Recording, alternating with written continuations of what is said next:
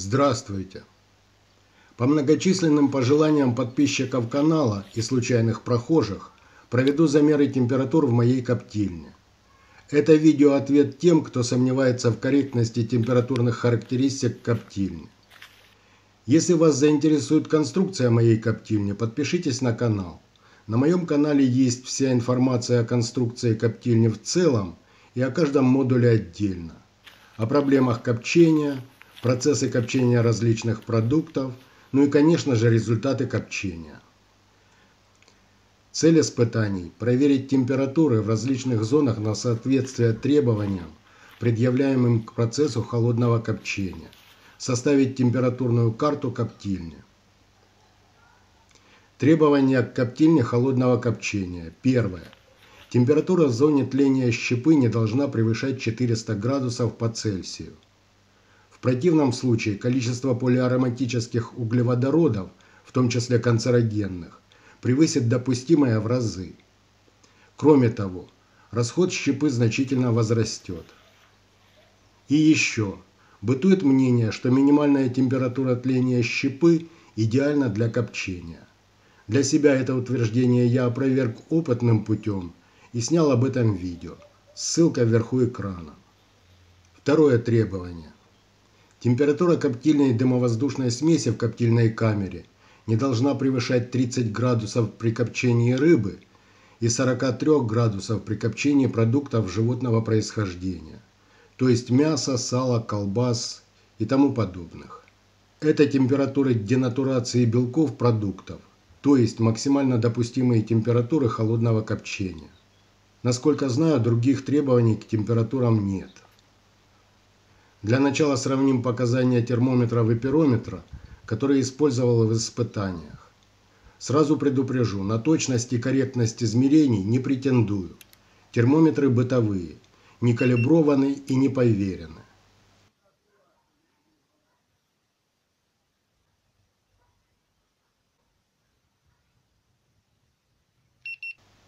Как видите, показания отличаются на десятые доли градуса – что, на мой взгляд, вполне приемлемо. Ну и плясать начну от печки, в нашем случае от дымогенератора. Пирометром произвел несколько замеров в области отверстий забора воздуха. Пирометр показывает усредненное значение температур в отверстиях забора воздуха, то есть непосредственно в зоне тления, и на внешней поверхности дымогенератора.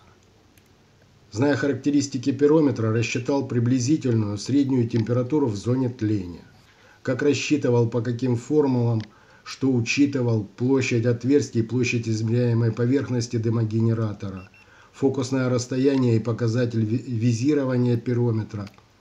Это было бы скучно и еще нуднее, чем сейчас. Поэтому сразу результаты. Температура в зоне тления примерно в пределах 320-380 градусов по Цельсию.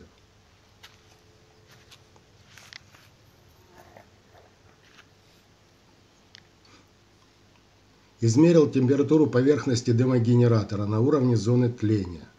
Этот показатель использовал для расчета температуры в зоне тления.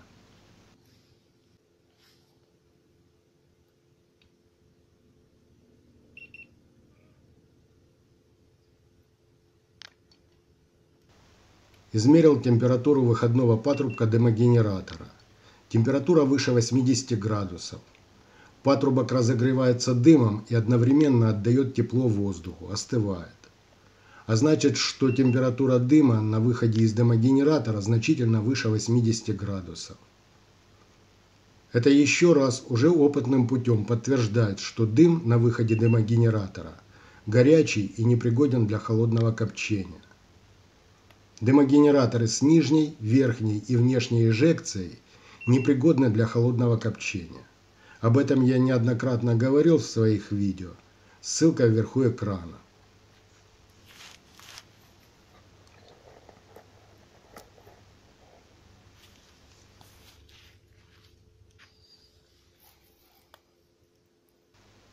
Измерил температуру на предварительном охладителе. Как видите, температура около 65 градусов. И это температура поверхности банки – Логично предположить, что температура дыма внутри банки существенно выше. Это говорит о том, что охлаждение дыма воздухом неэффективно. И об этом уже говорил, сейчас продемонстрировал. У предварительного охладителя в моей коптильне другая функция. Ссылка вверху экрана.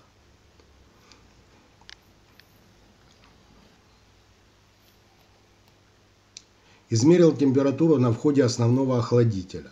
Как видите, температура выше, чем на предварительном охладителе. Дело в том, что теплопроводность железа выше теплопроводности стекла. Еще раз убедился, э, что охлаждение воздухом неэффективно.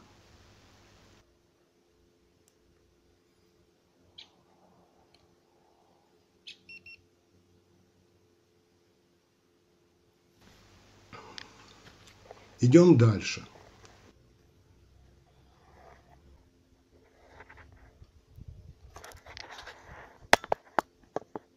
На термометре с выносным датчиком температура 23,8 градуса.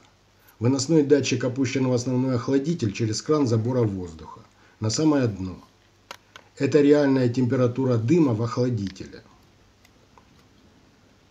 На выходе из охладителя температура еще ниже, так как дым прошел по вертикальному выходному участку трубы охладителя и отдал ему часть тепла.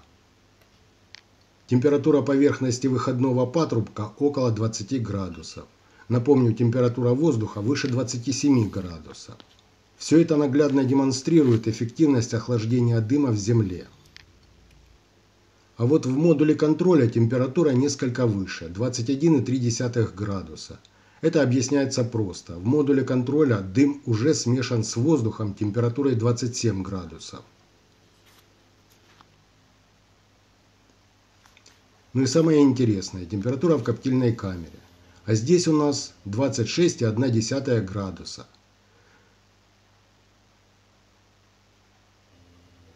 Датчик температуры находится на конце щупа термометра, то есть внутри коптильной камеры.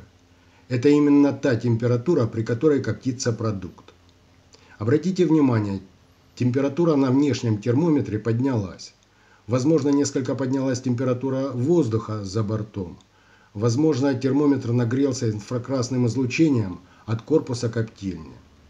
Дело в том, что перед съемкой я убрал лист шифера, защищающий камеру от прямых солнечных лучей, и поверхность камеры нагрелась. Вернемся к термометру, измеряющему температуру в основном охладителе. Здесь температура изменилась. Это нормально. В дымогенераторе в зону тления щепа поступает порциями. А значит и температура тления, следовательно и температура дыма на выходе дымогенератора меняются циклично.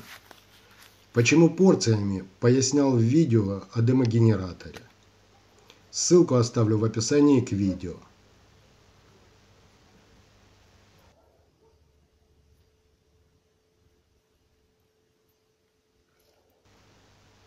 Чтобы показать, каким образом измерена температура в охладителе, вынул из выходного патрубка охладителя через кран забора воздуха выносной датчик термометра. Вот он. Замеры произведены, составил карту температур.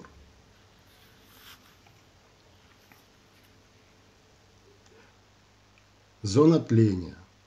Замеренное пирометром усредненное значение в области поддувала около 270 градусов. Расчетная температура в зоне тления в пределах 320-380 градусов. Поверхность дымогенератора в области тления около 110 градусов. Выходной патрубок дымогенератора около 80 градусов, а значит температура дыма на выходе существенно выше 80. Поверхность предварительного охладителя 65 градусов. Входная труба основного охладителя 68 градусов. Значит температура дыма на входе э, в охладитель выше этого значения. Основной охладитель около 23 градусов. Это реальная температура дыма в охладителе. Выходная труба основного охладителя около 20 градусов. Учитывая тот факт, что атмосферная температура выше 27 градусов, можно предположить, что температура дыма на выходе из охладителя ниже 20 градусов. Поверхность модуля контроля 21 градус. Значит температура дымовоздушной смеси внутри ниже этого значения. И, наконец, температура коптильной смеси внутри коптильной камеры 26 градусов по Цельсию, при атмосферной температуре выше 27. Вот так выглядит температурная карта моей коптильни. Вывод. Коптильня пригодна для холодного копчения любых продуктов, включая рыбу, при атмосферной температуре до 30 градусов. Если температура выше, смотрите на моем канале видео «Проблемы копчения, копчения в зной». Ссылку оставлю в описании к видео. Не забудьте подписаться, ставьте лайки, дизлайки. Дизлайки, пожалуйста, с комментариями.